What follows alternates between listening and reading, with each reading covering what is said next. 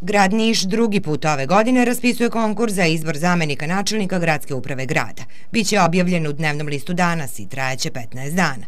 Paralelno sa raspisivanjem konkursa utvrđeni su i kriterijumi po kojima će komisija birati najboljeg za ovo radno mesto. Ono što će se proveravati i ocenjivati, to je stručno osposobljeno za rad na položaju zamenika načelnika gradske uprave grada Niša, znači uvidom u podatke iz prijeve na javni konkurs, zatim znanje iz oblasti sistema lokalne samouprave, e, naravno usmeno putem razgovora će se vršiti proveravanje i pod tri veština komunikacije takođe usmeno putem Iako Vučić kaže da će konkurs biti raspisan narednih dana i da će cela procedura izbora zamenika biti završena za najviše dva meseca, ipak je na sednici gradskog veća izabran vršilac dužnosti zamenika načelnika.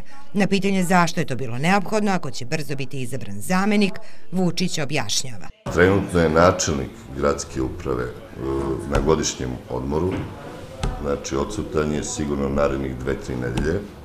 Gradska uprava mora da funkcioniše, imali smo jednu situaciju pre, ja mislim, meseci i po dva, kada je isto načelnik bio na godišnjem odmoru i gde smo imali velike probleme u redovnom, znači, poslovanju. Inače, jedan konkurs za zamenika načelnika već je bio raspisan početkom godine, ali je propao. Na njega su se tada javila četiri kandidata, od kojih je troje imalo kompletnu dokumentaciju i prošlo celokupan proces izbora.